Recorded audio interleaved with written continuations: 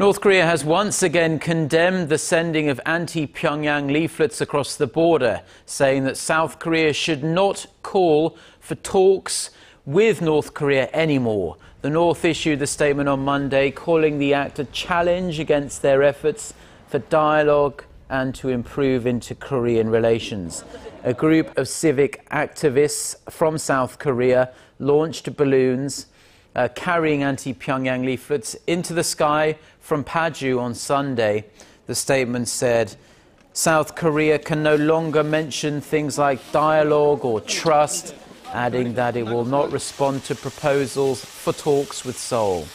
It also warned of retaliation, possibly militarily, uh, against the activists who launch these balloons, and it could come at any time.